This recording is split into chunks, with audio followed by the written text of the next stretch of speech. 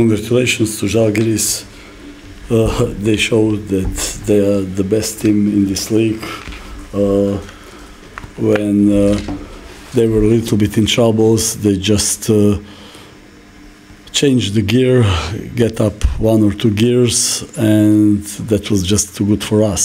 So I don't say, uh, or I can't say anything uh, to our players. We did what we had to do. We were doing uh, our best, but definitely that's not enough for Žalgiris. E, Sveikinimai Žalgiriui, jie e, parodė, kad yra geriausia komanda lygoje. E, Aš nieko neturiu ką blogo pasakyti apie savo žaidėjus, jie visi padarė tai, ką galėjo, bet to nepakako, kad laimėti prieš Žalgirį. Uh, I would like to say uh, more. Uh, I am uh, disappointed uh, because that was really not a lot of fans today, and always this place was packed. Unfortunately for us, today was not. Uh, maybe we could do a little better with more support of fans. Uh, that's how it is. It's uh, we didn't want to finish eight. We knew that you know you don't have a chance against Žalgiris, uh, but I think in both games in Kaunas and here uh, we proved that we deserve to be in playoffs.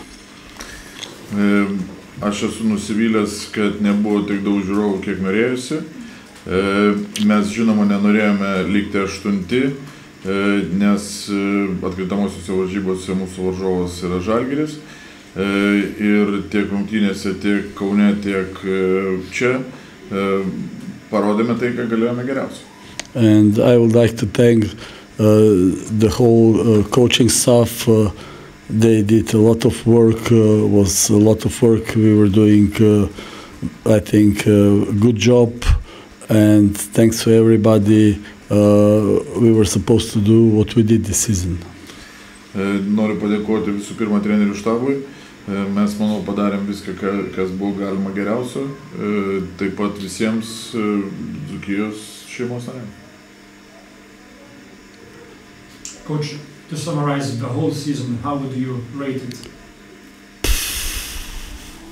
I think uh, I can say one thing. I think uh, we lost 14 games in overtime or less than five points. So we had some problems. Uh, uh, like months of January, we played without imports. We played only with Lithuanian players. We had some problems before. Uh, players leaving, players uh, who didn't want to be here. Uh, that's why we had very bad uh, November, December, and January. Uh, that's why we finished eighth. I think that uh, uh, with the whole team, uh, we would never finish eighth. We would be in fight for fifth position, and then would be also different in playoffs. Aš noriu pažymėti, kad mes šiame sezone 14 rungtynių pralaimėjome mažiau negu 5 taškų skirtumų arba e, po pratesimo. E, Mes e, sausio mėnesį žaidėm tik lietuviais. E, Žinoma, mes turėjom e, pakankamai blogą e, lapkritį ir gruodį, e, bet jeigu būtumėm žaidę visa komanda, pilna sudėtimi, e, tai galėjome tikėtis e, užimti ir penktąją vietą. Um, coach, um, what is your plans for upcoming season? Or it's too early to say. No, it's too early. It's just finished, so uh, we will see what what will happen. E, Taip, dar per anksti kalbėti apie tai, ar e, liksiu čia ar ne. E, Sezonas dar tik tai baigtas, e, tam reikia laiko. Aišku, sveikinimai žaidėjams, fanams išėjus į, į kitą etapą. Uh, antra pusė tikrai buvo puikiai.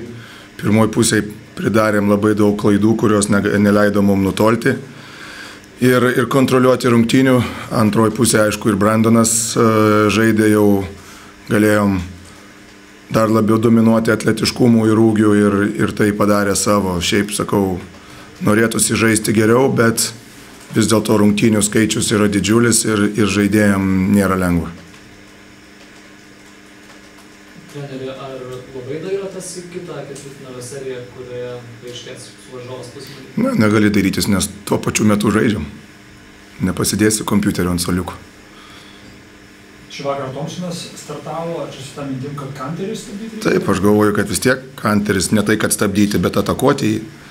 Ir, ir kažkiek tai iš pat pradžių ta taktikos dalis e, pasiteisino, paskui antras išėjimas jau buvo labai jo prastas. Taip kad e, vėlgi, sakau, prarandam koncentraciją mes labai greitai ir, ir, ir kažkaip reikia visą laiką žiūrėti į save, ką aš galiu duoti komandai, o ne, o ne laukti, kad vis kažkas kitas išspręs uh, situaciją. Taip kad, sakau, tiek gal. Šį vakarą vienas iš tų, kuris ant savęs ėmėsi, Ivanovas buvo, ar ne? Kaip jo žaidimą galima pakomentuoti? Ne, nu labai jau palikinėja į laisvą, tai jam reikėjo mesti, šiaip sakau, bandom, bandom kiekvieną ataką išgauti labai gerą metimą, daug e, su tokia rizika, daug tenai jau neprigalvosi, aišku, jisai pats jau matosi, kad tikrai pradėjo forsuoti metimus, nes jau ko gero labai gerai jautėsi, taip kad malonu, kai taip žaidėjas prisijama atsakomybę, aš manau, būtų prametęs, galbūt būtų ėjęs į, į antras ir trečias opcijas. Ar kažkas aiškiau su Milakniu, kaip jo koja? Nelabai. Šiandien, šiandien man atrodo, minimaliai pradėjo sportuoti, liktai kaip ir, ir, ir turėtų pasveikti iki pusfinalio, bet sunku pasakyti, kad dargi dar nepradėjo bėgioti po, po aikštelę. Daro ten kažkokius pratimus, labai daug daro rehabilitacijos, bet, e, sakau, vis tiek paaiškės daugiau jau kaip e, pabandys sportuoti 5 prieš 5 ar, ar bent jau kažką aikšteliai daryti. Kiek jo trūksta?